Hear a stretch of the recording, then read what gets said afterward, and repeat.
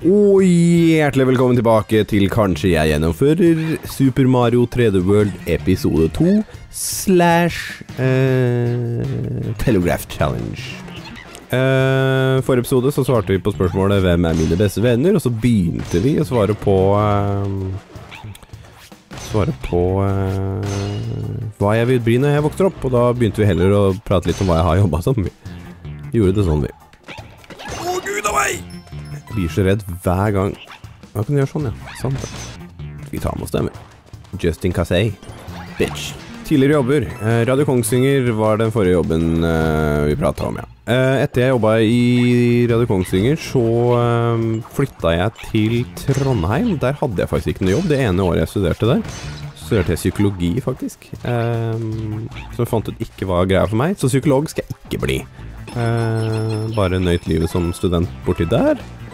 Nøyt i den grad det gikk an, i hvert fall, med den studielinja som jeg ikke likte. Og så flytta jeg til Oslo eh, for å studere spilldesign. Eh, når jeg var i Oslo, så jobba jeg på Ullevål. Vet du hva, jeg merker at Hvis jeg skal nevne alt jeg jobba som, så kommer dette til å ta jævlig lang tid. Det tar jo drøy-drøy. Tar jo bare drøy-drøy. Oh, det var faktisk Au! Det var ikke flaks likevel, det. Eh, men ja, hva jeg skal bli når jeg vokser opp, eh, det er så vanskelig å si. Eh, helt ærlig, akkurat nå så er det faktisk YouTube jeg ønsker å drive på med. hvordan jeg skal leve av det, det er en helt annen ting. det er det jeg prøver å finne ut akkurat nå, egentlig. Oh, det er jo nesten dumt, det. Oh. hvordan jeg skal leve av det, det, det veit jeg ikke ennå. Så det er liksom det jeg prøver å finne ut nå, da.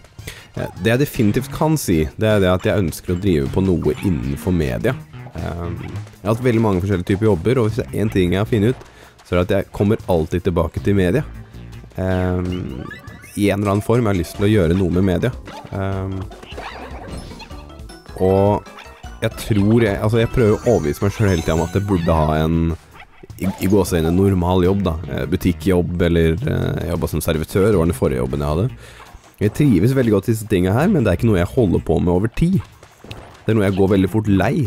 Uh, jeg merker jo det sjøl at uh, jeg vil trives noe over tid. Og det tror jeg faktisk da er innen medier. Uh, fordi hver gang jeg holder på med en ny jobb, så har jeg alltid lyst til å starte opp noe på egen hånd. Og det er alltid innenfor medier. Um, så det er vel korte svaret, tror jeg. Noe innenfor medier. Hva innenfor medier, det vet jeg ikke. Du skal dø. Ha det bra.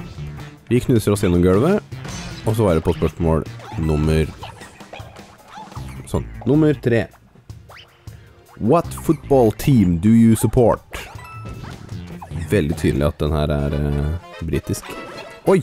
Jeg har dårlig tid!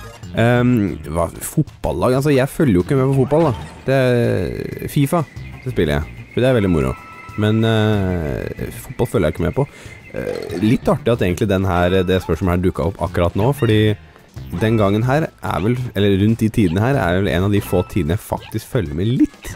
Eh, forrige helg, eh, så Wow, vær så god. Um, nei, Kiel, som er uh, håper å si hjembyen min. Nei, den stjerna der skiter jeg i. Nei, Mattis! Ja da! Akkurat toppen, det.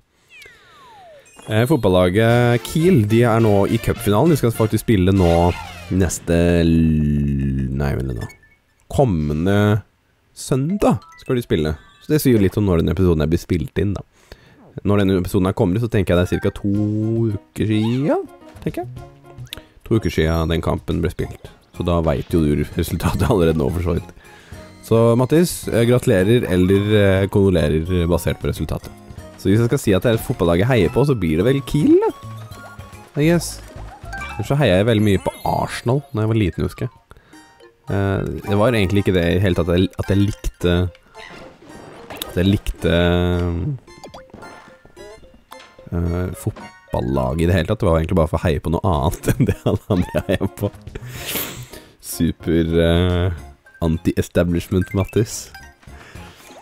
Nei, så det var det, var det jeg Det var det jeg heier på. så er det sånn at alle i familien min heier på Liverpool, tror jeg. If you could have one superpower, what would it be, and why?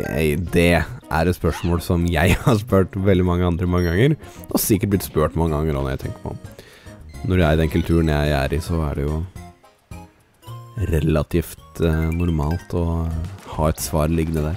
Jeg tror egentlig ikke jeg har et sånt svar liggende klart. Det tror jeg egentlig ikke. Altså, jeg må jo være såpass eh, klissete og si at det å fly Det å kunne Det kunne bryte tyngde, tyngdeloven her på jorda, det hadde vært jævlig moro. Det hadde jo vært.